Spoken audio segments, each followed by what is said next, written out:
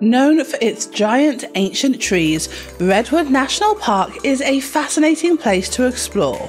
This is Katie from Creative Travel Guide, and today we share this Redwood National Park travel guide so that you can plan a trip with ease.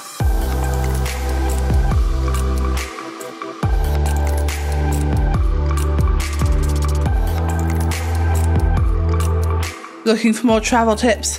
Make sure to hit subscribe and ring that notification bell. So, firstly, let's look at when to visit.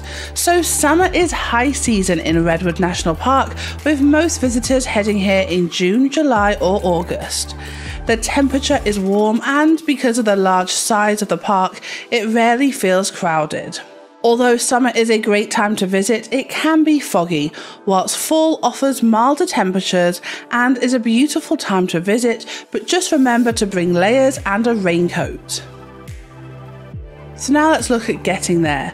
So the park is located in Northern California, around a six hour drive from both San Francisco and Portland, making it the ideal weekend trip from both cities.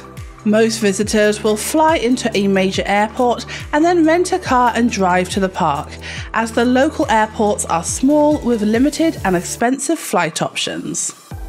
So now let's look at how it is organised. So Redwood National Park is a little confusing.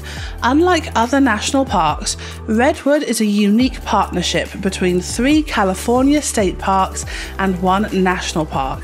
Together, these parks protect half of the world's redwoods across nearly 40,000 acres of forest which leads us on to entrance fees. So the Redwoods National Park is free to enter, but the free California state parks do charge a state park entry fee in some areas.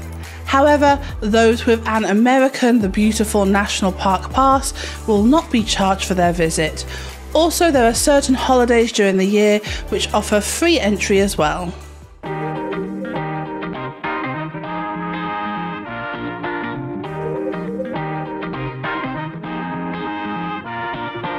So now let's look at where to stay.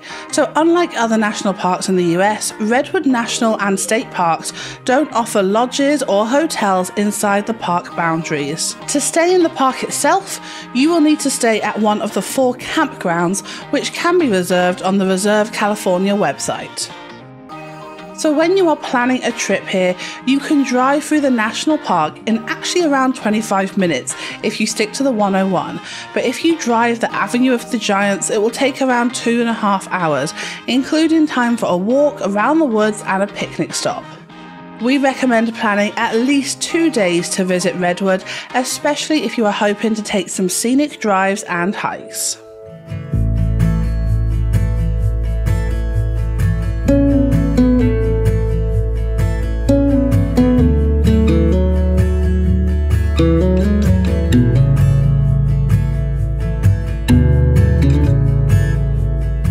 Now let's look at the things to do. So, Redwood National Park has a lot of gorgeous nature to offer. Hikers will love the Tall Trees Grove hike taking you through the glorious giant trees and ending at huge maple trees.